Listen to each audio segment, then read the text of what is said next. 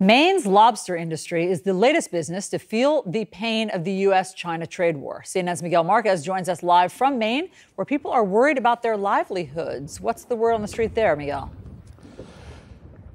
Yeah, look, it's getting more and more serious. Uh, what what they had hoped was just a short-term trade skirmish has now turned into a full-on trade war. They've been hit twice now uh, by not only the, the Canadians signing a deal with the Europeans to bring their tariffs to zero, but now the the uh, Chinese slapping that 25% tariff on lobsters, among other things. For for them here, there is just no end in sight. Siblings Chelsea and Cody Noonan, their family, plucking lobsters out of the waters off the Maine coast for five generations. Now worried they might be the last. It's it's scary. You know, I, I have an eight year old daughter now, and it's hard for me to want to bring her into this industry. Did you ever think that you would be sort of caught up in an international trade war?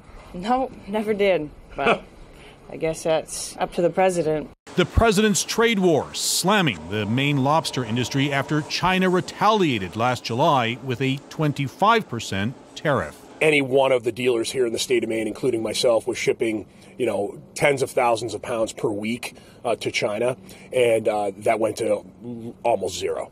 Wholesalers like Sean McEwen with Sea Salt Lobster says these days business treading water.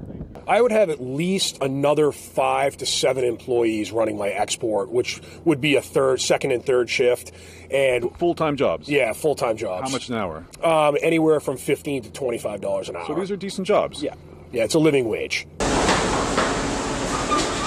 Maine coast moves 7 million pounds of lobster a year. They've aggressively pursued other markets when exports to China collapsed. They'd like to expand more but the uncertainty is what's hard. I think it's it's trying on all of our employees. We exited the year performing basically on target. We didn't grow as much as we would like to grow or historically have grown, but we didn't lose. The industry, holding on for now, has a simple message for the president. This is American jobs. It's rural jobs. Um, these are industries that are that are really, really important for rural America. For lobstermen like Cody Noonan, who likes the president, the tariff war wearing thin. He made it sound very good, you know, when he was running. How much is he hurting you personally right now, or this tariff war hurting you personally?